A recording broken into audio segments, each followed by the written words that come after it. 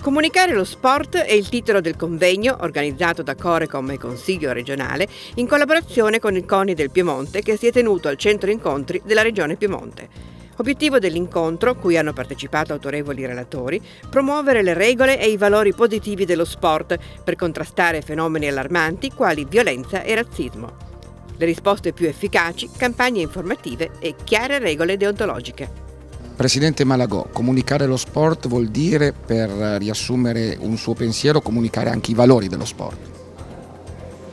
Beh sì, eh, c'è anche questo, non c'è solo questo, ma sicuramente insomma, quando uno deve comunicare normalmente tira fuori il meglio di quello che c'è del soggetto che si vuole raccontare agli altri. Eh, insomma, in questo lo sport dei valori ne ha molti, per cui è, insomma, responsabilità sua, mia, di tutti quanti, cercare persone che si occupano di sport a vario titolo, cercare di valorizzare al massimo questo prodotto.